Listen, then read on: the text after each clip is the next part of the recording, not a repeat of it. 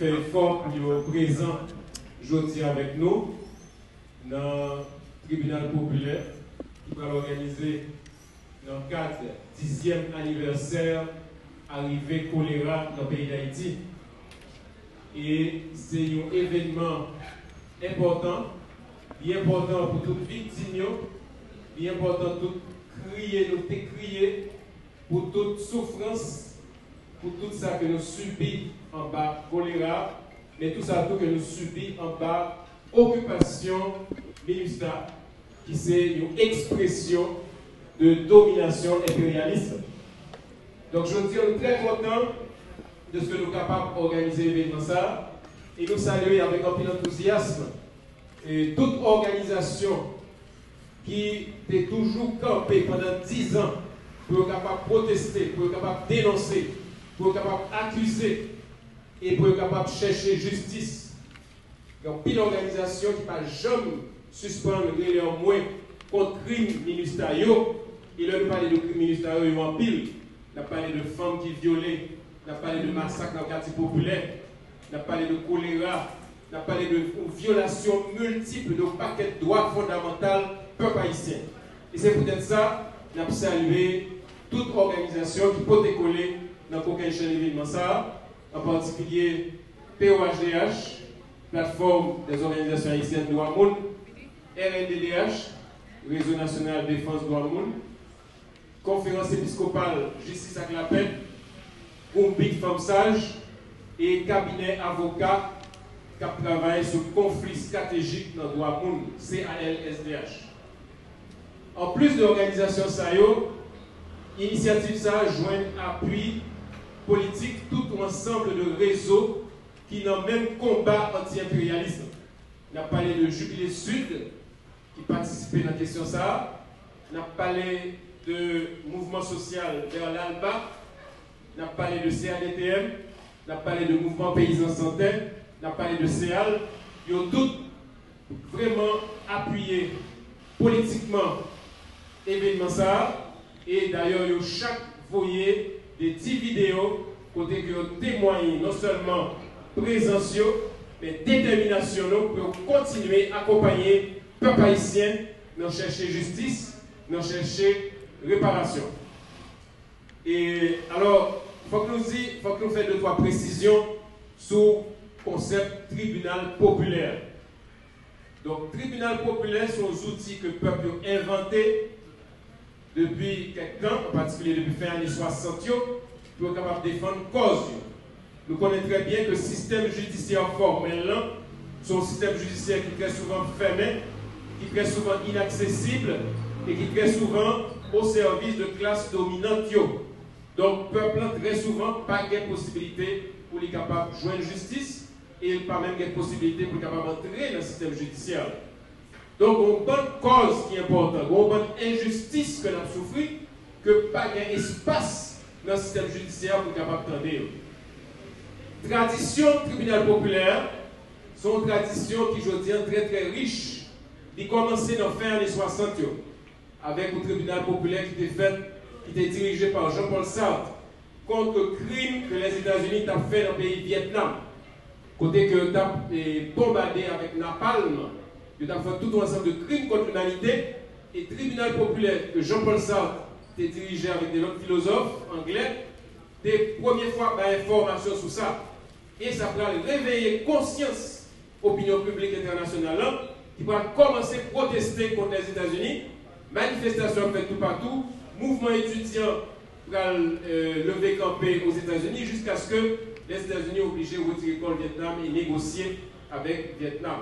Donc, à partir de de expérience une tradition de tribunal populaire, de tribunal d'opinion qui va l'installer, notamment en 1974 à Rome, un tribunal d'opinion qui fait contre dictature du Valier. Si sur Internet, taper tribunal populaire Rome 74 du Valier, a joint tout témoignage qui était fait, il y un pile de documents très importants qui était fait dans le tribunal populaire. Ça. Après ça, a un paquet de tribunal populaire, tribunal d'opinion, tribunal contre, euh, par exemple, dictature Pinochet, tribunal contre dictature Videla, tribunal contre Banque mondiale, tribunal sur question environnement avec des gars multinationaux ont fait en Inde, par exemple. Donc, il y a une longue tradition. Et en Italie, on a un cabinet avocat qui est dirigé par un, avocat italien qui est Lelio Basso, pour créer un bureau qui est le tribunal permanent des peuples et qui ramasse l'expérience pour capable accompagner différentes initiatives tribunal populaire. Donc, donc, nous dit que là, on très très riche expérience qu'en Haïti, nous, mouvement féministe est fait au tribunal populaire sous question violence contre femmes en 96, 95, 96. Donc, euh, et ces outils ça que nous allons utiliser, et outils ça, nous fait de façon sérieuse, de façon méthodique. Ça veut dire que ce n'est pas un tribunal voyez monter, mais c'est un tribunal qui cherche sur des faits, qui cherche sur des témoignages, qui cherche sur des analyses scientifiques pour que justement, conclusion que nous aboutissons, résolution que nous prenons, condamnation que nous faisons, nous servent comme outils de bataille pour nous capables d'avancer dans, la lutte. Et dans ce sens-là, nous sommes capables de dire que le choléra, c'est vraiment une qui extrêmement grave comme crime que vous faites contre Haïti. Pendant la journée, nous avons en pile d'informations sur ça. Mais nous avons rappelé rapidement que le choléra introduit par les troupes népalaises de la MINUSTA qui arrive en Haïti le 9 octobre 2010. Ils ont installé un camp qui est Annapurna, dans May, dans le plateau central. Et à partir de 12, 13, 14, 15 octobre, nous commencent à mourir par paquet dans le plateau central et dans la Tibonite. Et nous sommes capables de dire que aujourd'hui, nous gagnons un bilan catastrophique. Officiellement, les Nations Unies parlaient de 9800 cadavres, mais nous connaissons que ben, beaucoup plus. Et si nous lisons par exemple le livre plus spécialiste, donc Renaud Piaou publié, nous sommes capables d'estimer qu'il y a au moins 30 à 35 000 personnes qui mourent de choléra. Donc, au groupe des Nations Unies qui dit la défense droit, qui entre dans le pays, qui touille 30 000 personnes et puis qui doit aller, sans que pas une réparation exemplaire qui fait par rapport à crime ça.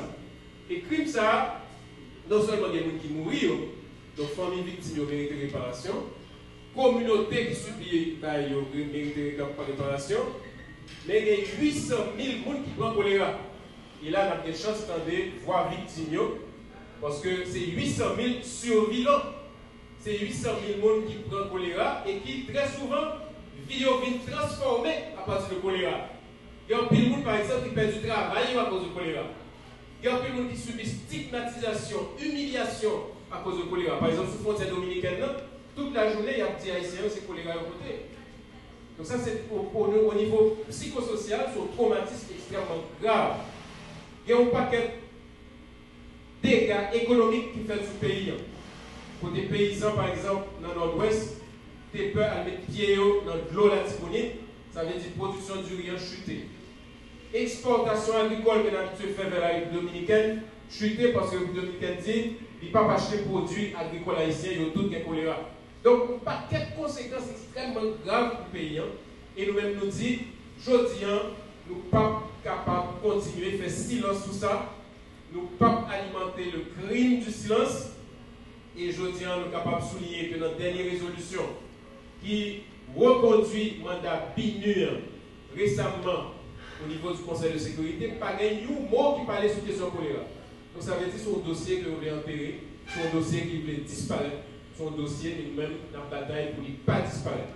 Donc, dans ce sens-là, moi, invite nous suivre et participer avec un peu d'attention débat qui va le faire aujourd'hui. Hein. Et nous rappeler que l'initiative que nous prenons là, il rentre dans le cadre d'un ensemble d'activités anti-impérialistes, qu'un ensemble de réseaux dans Caraïbes ont convoqué, notamment le mouvement social, social de l'Alba. Il entre tout dans l'initiative Jubilé Sud pour faire une semaine de mobilisation contre la dette. Et meilleure façon que nous bataille contre la dette, c'est de dire que nous-mêmes, peuple, c'est nous-mêmes qui créanciers. C'est nous-mêmes qui doués, il faut réparent. Et dans ce sens-là, réparation sont des extrêmement importants pour changer le rapport de force sur le plan international.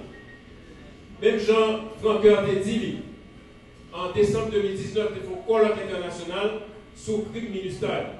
Et une conclusion, c'était d'avoir organisé des tribunaux populaires en Haïti et dans tout pays qui était contributeur important de troupes à la ministère de façon que nous un tribunal populaire pour juger ministère et juger crime qui fait Par exemple, le Brésil est engagé pour lui faire trois tribunaux populaires dans différentes villes dans le mois de juillet 2020. Malheureusement, Covid-19 vient bloquer le calendrier ça. Donc, l'initiative que nous prenons, c'est pour encourager que ça recommence et que nous continuions la bataille jusqu'à ce que nous soyons capables de joindre la victoire. Et, toutes les amis Brésil, Argentine, Uruguay qui étaient en pile troupe dans le ministère, sont d'accord pour faire un tribunal populaire à Cayotou pour que l'opinion publique la Cayotou soit au courant et que la société ça prenne conscience de responsabilité de participation dans le crime contre le peuple haïtien pour être capable de participer dans la réparation du peuple haïtien. Donc, dans ce sens-là, l'événement, ça, c'est un événement important et j'espère que ce soit un événement qui permet de construire la bataille du peuple haïtien, non seulement par rapport à la question de conscience anti-impérialiste, question de conscience anti-ingérence, mais tout rassembler forces, faire des alliances qui permettent qu'effectivement nous gagnions suffisamment de force sociale et politique pour être capable de prendre contrôle pays, hein, bataille pour récupérer souveraineté pays hein, et transformer radicalement rapport que le pays gagne avec l'autre pays et avec la, ça la dite communauté internationale. Donc, dans ce sens-là, nous, pensons tout que son devoir, son responsabilité pour le peuple haïtien dit l'autre peuple qui s'est passé, qui s'est occupation militaire, qui conséquences et impacts que sur société et qui gens que nous sommes capables de construire le pays à partir de l'expérience douloureuse. Donc, euh, moi, je souhaitais que nous soyons capables d'apprendre en pile parce que le tribunal populaire autour, c'est un espace d'éducation populaire, c'est un espace côté nous ramasser informations pour continuer la bataille, et c'est un espace côté que ce n'est pas seulement des spécialistes qui sont capables de parler, mais c'est parole peuple, parole classe populaire, parole exploitée qui est important.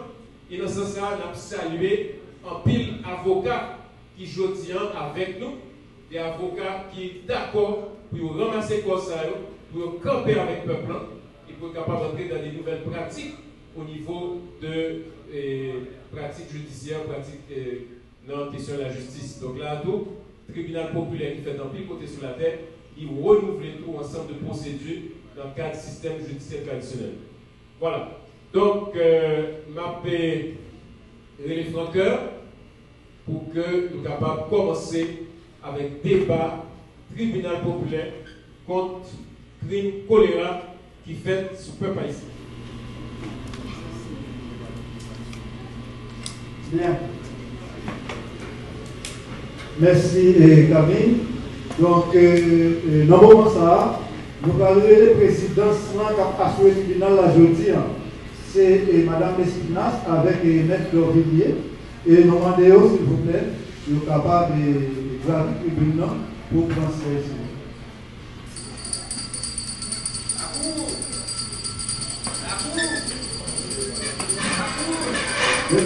Lapu!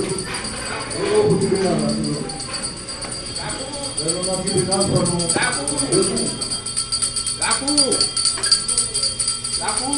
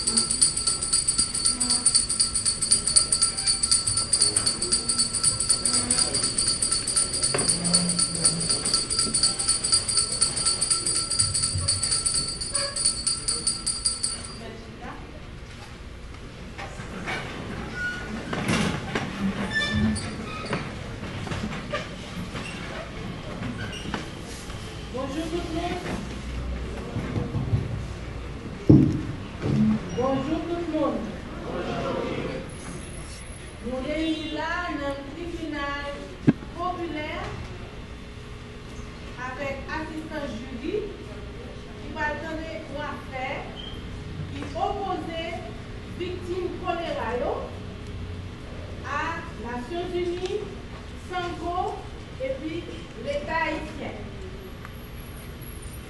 Avec divers monde qui prendre la parole. Avec gagné monde qui dit côté plein plaignant. Avec témoins. N'a gagné de défense, nous avons des conseils plaignants, nous avons des jurys tout. Il y a un moment dans le tribunal quelques monde assistance a bien possibilité tout pour y la parole. Nous demandons tout le monde qui a bien intervenu dans le tribunal là pour faire ça avec respect pour l'autre. Et pour dire la vérité dans tout ça. Nous demandons le jury là pour la décision que l'État va prendre cette vie qu'il prononcer pour faire ça avec justice, pour faire ça avec respect. Donc, nous là dans un tribunal populaire criminel qui opposait victimes choléra à Nations Unies, Sanko et puis l'État haïtien. Monde qui dans le ministère public là, ça veut dire qu'il représente la société, c'est M. Patrice Florminus. Nous gagnons tout, plusieurs autres monde qui représentent l'autre partie dans le tribunal là. Conseil des là, il y a la donne, Maître Lambly Jean-Louis et Madame Lisa André et Jimmy Jean-Baptiste. C'est eux-mêmes qui à droite là. Conseil accusé qui représente Unies Sanko et puis l'État haïtien, c'est eux-mêmes qui à gauche. Nous avons Maître Feriel Ledor, Pita Pierre, Noël Melius et Franck Rodney. Nous avons tout Manjulio qui là. Nous avons Josaphat Antoine client. Nous avons Castet, Mildeson, Milocène, merci. Nous avons Mérolin Francis, Alain Pierre, Elie Saint-Fleur, Tania Félix, Carmel Félix, Jean-Robert Pierre, Kathleen Alexandre, Christine E. Doriska. Julio. Nous avons tous plusieurs témoins